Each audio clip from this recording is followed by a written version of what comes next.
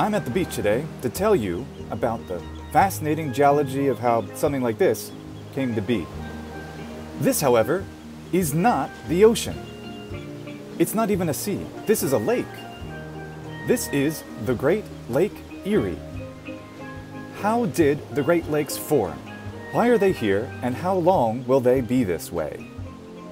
Let's explore that today. I'm Luke, and this is Polymathy. You could call the Great Lakes a failed ocean. Aww. Yes, they're great, but they could have been even greater, cleaving the North American continent in twain. Mark Twain! Ah! so, what incredible force was at work here long ago?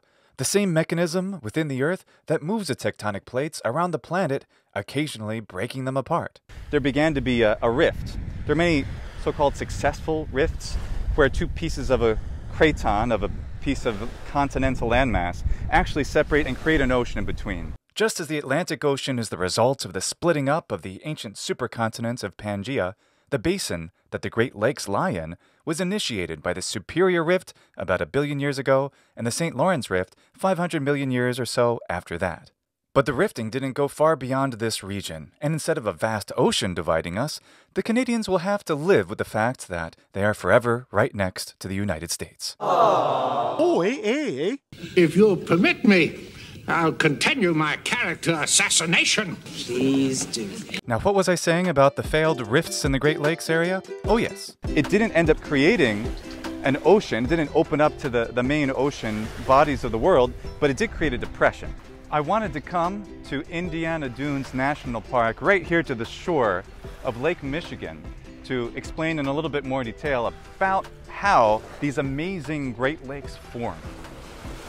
The Great Lakes have about 20% of all the fresh water on planet Earth. Obviously, there's a lot more salt water, but when it comes to the fresh water that we can drink and other terrestrial animals can actually drink, and plants for that matter, 21% of it is right here. Right now I'm going to touch Lake Michigan for the first time. That's awesome.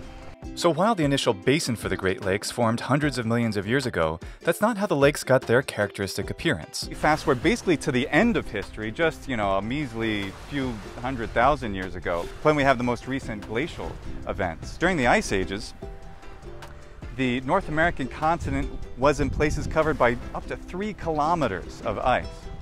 In fact, the ice was so unbelievably heavy that it pressed down on the crust of the earth and compressed it such that it took thousands of years for the crust to rebound after the ice was gone. In some places, that's actually still happening, and the crust is still slowly getting back to where it was before the glacial events happened.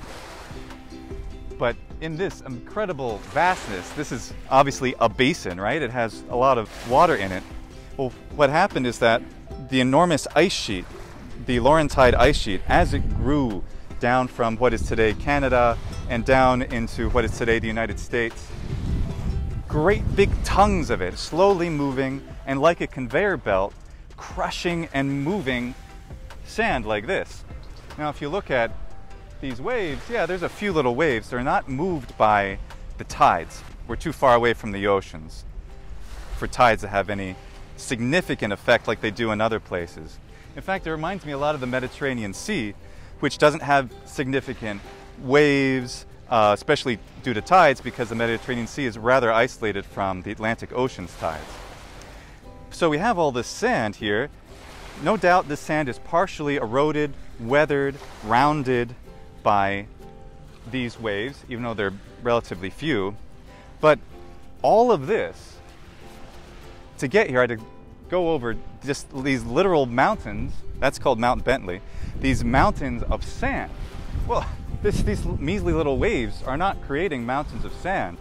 The mountains of sand were all deposited there by this glacier that was just crushing, grinding, turning into this pulverized sand, whatever it was going ac across. Glaciers are actually incredibly destructive over long periods of time, just like many other erosional features like rivers. And it pushed all of this sand up into what we see, these hills, this very beautiful hummocky terrain, creating what are called glacial moraines. The forces at work here must have been unimaginable. Because they're constantly flowing, glaciers deposit their sediments, called till, potentially very far away from their origin, until the glacier reaches a place where warming temperatures melt the end of the glacier as fast as new ice flows into the area. Thus, the terminus of the glacier appears stationary, and that's where it dumps its till, like it did right at Indiana Dunes National Park at the end of Lake Michigan, just like an enormous conveyor belt forming these incredible moraines that I have to hike over. This is about a kilometer and a half from the shore of Lake Michigan, and what we see here in this, this hill looks like just any kind of other hill, except that it's made entirely of this sand. And the sand isn't made from the pounding of, of ocean waves. It was made by glaciers tens of thousands of years ago that eroded the bed of what is now Lake Michigan and pulverized that, that dirt and pushed that sand into here, which is, was essentially the terminus at one point of the glaciers and just pushed it right here, creating these hills, which are called moraines. The terminal part of where a glacier ends, the sediment that it forms is called a moraine. that's what it is. Let's walk up this ancient glacial moraine. But instead of learning about science in the hilly and harsh outdoors, why not take advantage of one of my favorite ways to learn about the natural world in the comfort of my own home? This video sponsor, Brilliant. To get the foundation you need to stand toe to toe with geological scientists, I recommend these courses. Scientific Thinking, to get an extremely well rounded sense of all the fundamental science concepts. Frankly, it's worth signing up for the free trial just to blast through this course. It's a lot of fun. But then you'll probably really adore the chemical reaction and the molecules modules. Chemistry is a hugely important part of geology, which we'll see more of as we continue the cross country tour. And you'll also want to enjoy the classical mechanics course. Physics is how we can figure out what kind of effect three kilometers of ice has on the Lake Michigan basin. Math, of course, is the sine qua non for any physical science, including geology. Well, how much math should you have? Really, the more the better, but don't be intimidated by that since Brilliant makes it so much fun to learn everything you need to know to familiarize yourself with algebra and geometry, calculus, statistics, and even master these subjects. That's what's really amazing. Plus, opening the door for the really fun stuff like vector calculus, differential equations. Imagine enjoying doing linear algebra for fun months or years before you actually have to in school. That's what Brilliant can do make the hardest subjects your favorite subjects. So why not try out Brilliant for free for 30 days? Go to brilliant.org slash polyMATHY, and the first 200 to sign up get 20% off a year's subscription. Now that's a good deal. Now, where was I? Oh yes! Ascending the grand Indiana Dunes. And now we're at the top of the glacial moraine. This dune of sand. and about another kilometer and a half there that way, we'll end up at Lake Michigan. One kilometer later. And there is Lake Michigan, which was carved out over thousands of years, tens of thousands of years, by glaciers that flowed down this immense basin.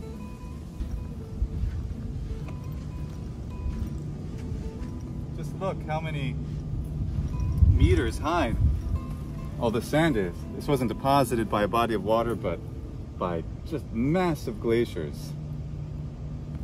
That's what these are, these moraines, which today, only, only a few tens of thousands of years old, which is pretty young in geological terms, they're pretty loose deposits. They're not very tight concretions. Uh, maybe in a few tens or even hundreds of thousands of years, they could be compressed into sediments that become more like rock and eventually into actual, actual rock. And later when we go to the Badlands of South Dakota, we'll see something really cool where we'll actually see loose sediment that's been compacted into almost rock.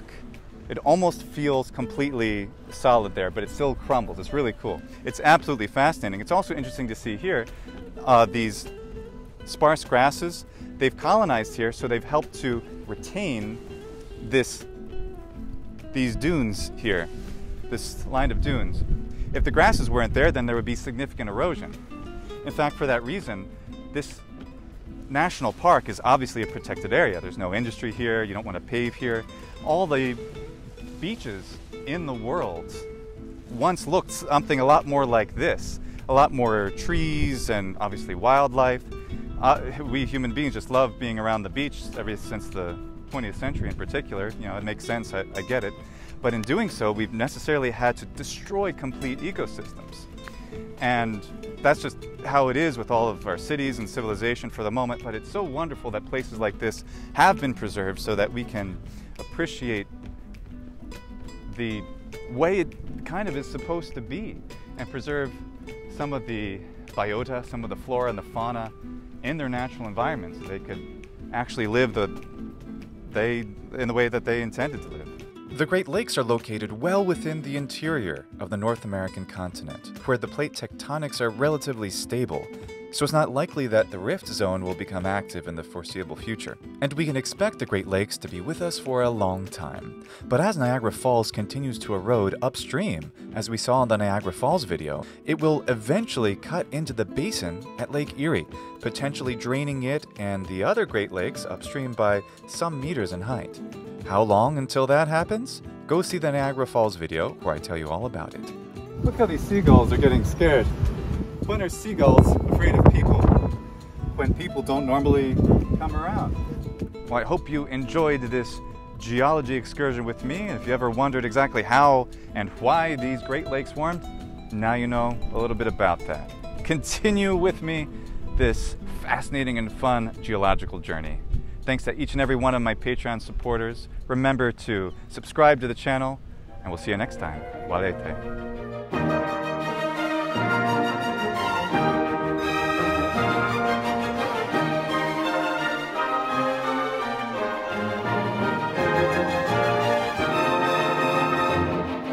something that like that happened. That's a good example. It's not actually happening. I'll just skip that. Okay. um, the rifts are often formed. Oh, doesn't matter. Um, uh,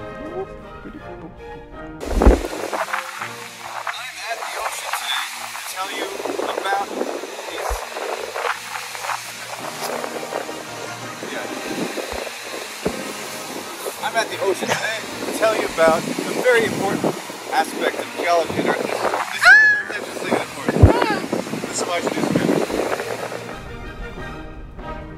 that's all I had to say about that. but here we have this beautiful, loosely integrated uh, glacial moraine like terrain. That's a very little bit redundant.